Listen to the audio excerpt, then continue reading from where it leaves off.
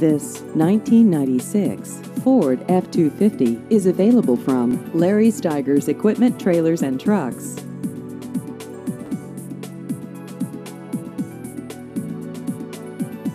This vehicle has just over 126,000 miles.